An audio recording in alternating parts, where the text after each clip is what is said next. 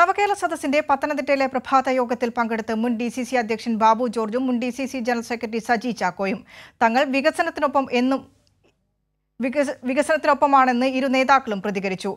മുഖ്യമന്ത്രി പിണറായി വിജയൻ പങ്കെടുത്ത യോഗത്തിൽ വിവിധ രംഗത്തെ പ്രമുഖരും സാധാരണക്കാരും എത്തി. പത്തനംതിട്ടയിലും പ്രതിപക്ഷത്തിന്റെ ബഹിഷ്കരണ ആഹ്വാനം രാഷ്ട്രീയ പ്രവർത്തകരും പൊതുജനവും തള്ളി. ജില്ലയിലെ കോൺഗ്രസിന്റെ മുതിർന്ന നേതാക്കളായ ബാബു ജോർജും സജി ചാക്കോയും പ്രഭാതയോഗത്തിൽ പങ്കെടുത്തു.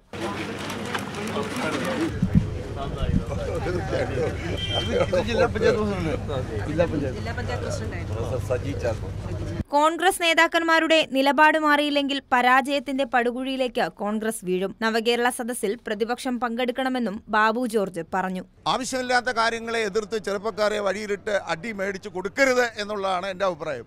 പ്രതിപക്ഷങ്ങൾ ബഹിഷ്കരിക്കരുത്.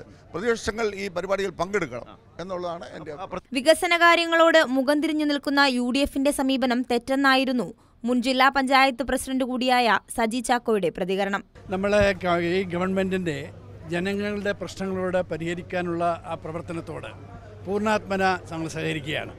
അതുപോലെ തന്നെ ഈ പ്രദേശത്തിന്റെ ഈ ജില്ലയുടെ വികസന ആവശ്യങ്ങൾ എന്താണ് എന്ന് കണ്ടറിഞ്ഞ് പരിഹാരം കാണാനുള്ള ഇടതുപക്ഷ മുന്നണി ഗവൺമെന്റിന്റെ ആ നയപരിപാടികളോട് ഞങ്ങൾ പൂർണമായി പിന്തുണയ്ക്കുന്നു. ചലച്ചിത്ര താരം പ്രശാന്ത് അലക്സാണ്ടറും പ്രഭാതയോഗത്തിൽ പങ്കെടുത്തു. വളരെ പ്രതീക്ഷയോടുകൂടിയാണ് കാണുന്നത്. കാരണം പൊതുജനത്തിന് നമ്മളുടെ നിയമസഭാജികരെ മന്ത്രിമാരെ നേരിട്ട് കാണാനും നേരിട്ട് സംസാരിക്കാനുമുള്ള അവസരങ്ങൾ കിട്ടാറുണ്ടല്ലോ. നമ്മുടെ ഡെമോക്രാറ്റിക് സിസ്റ്റത്തിലുള്ള പോലെ നമ്മൾ ജയിപ്പിച്ചു വിടുന്നു. നമ്മൾ നമ്മളെ എം എൽ എ കാണുന്നു കാര്യങ്ങൾ അറിയിക്കുന്നു. സർക്കാർ ഓഫീസുകളുമായി ബന്ധപ്പെട്ട് നീങ്ങുന്നു. എന്നാൽ ഇത് നേരിട്ട് കാണുവാനും നേരിട്ട് ചർച്ച ചെയ്യുവാനും എങ്ങനെയാണ് ഈ സിസ്റ്റം സഞ്ചരിക്കുന്നത് എങ്ങനെയാണ് ഈ സിസ്റ്റം നടക്കുന്നതെന്നൊക്കെയുള്ളത് നേരിട്ട് മനസ്സിലാക്കുവാനും കിട്ടുന്ന ഒരു അവസരമാണ്. കോൺഗ്രസ് മുൻ പഞ്ചായത്ത് അംഗം ഇ സോമൻ നായർ സാഹിത്യകാരൻ ബെന്യാമിൻ കുര്യാക്കോസ് മാറിവാനിയോസ് മെത്രോപൊലിത്ത ഓർത്തഡോക്സ് സഭാ സെക്രട്ടറി ബിജു ഉമ്മൻ തുടങ്ങി വിവിധ രംഗത്തെ പ്രമുഖരും സാധാരണക്കാരും ഉൾപ്പെടെ പ്രഭാതയോഗത്തിൽ മുഖ്യമന്ത്രിയുമായി സംവദിച്ചു.